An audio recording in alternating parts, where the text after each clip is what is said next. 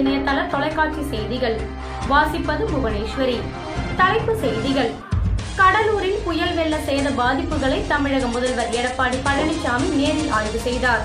அப்போது நிவர் புயலால் கடந்த இரண்டு தினங்களாக பதற்றமான சூழ்நிலையில் நாம் இருந்தோம். முன்னெச்சரிக்கை நடவடிக்கையால் பெரிய பாதிப்பு இல்லை என்றும் பாதிக்கப்பட்ட வேளாண் பெருமக்களுக்கு பேரிடர் நிதியிலிருந்து அவர்களுக்கு நிவாரணத் தொகை வழங்கப்படும் என்று முதல்வர் எடப்பாடி பழனிசாமி தெரிவித்துள்ளார்.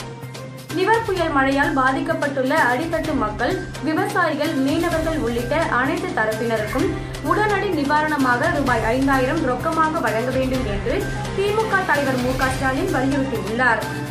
நிவர் புயல் காரணமாக தமிழ்நாடு மின்சார வாரியத்துக்கு ரூபாய் ஒன்று புள்ளி ஐந்து கோடி வரை இழப்பு ஏற்பட்டுள்ளதாக மின்சாரத்துறை அமைச்சர் தங்கமணி தெரிவித்துள்ளார். சிறிய இடைவெளிக்கு பிறகு செய்திகள் தொடரும். நவம்பர் இருபத்தி ஏழில் பிறந்த நாள் விழா காணும். இளைஞர்களின் எழுச்சி நாயகன் முத்தமிழ் அறிஞரின் மூத்த பேரன் வாழ்க பல்லாண்டு வருங்கால முதல்வரின் தவ புதல்வனை வாழ்த்தி வணங்குகிறோம். பெத்தநாயக்கன் பாளையம் திமுக ஒன்றிய துணை செயலாளர் ஏற்காடு தொகுதி டி. சிவராமன்.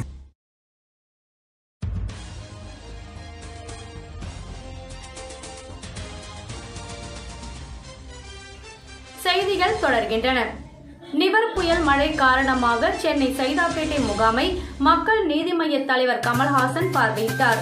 பின்பு செய்தியாளர்களிடம் அரசிடம் உள்ளது போல் எங்களிடம் கஜானா இல்லை என்றும் அரசுதான் தக்க நடவடிக்கை எடுக்க வேண்டும் என்றும் அவர் தெரிவித்துள்ளார்.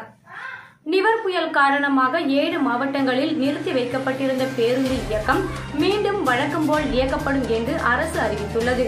அரசு அறிவிப்பை தொடர்ந்து நேற்று பிற்பகல் முதல் பேருந்து இயக்கம் தொடங்கியுள்ளது. இத்துடன் செய்திகள் நிறைவடைகின்றன. நன்றி வணக்கம்.